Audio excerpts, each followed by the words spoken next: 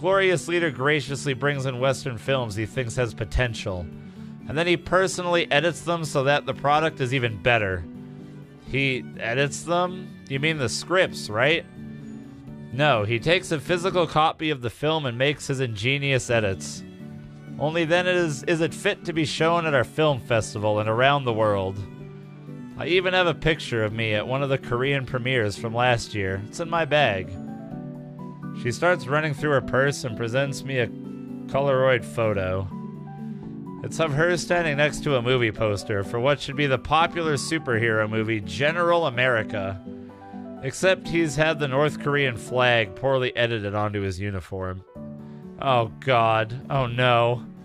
And this next one. It looks like they even edited terrible CGI into the original Star Battles. F- no, wait. That that was our fault. Damn.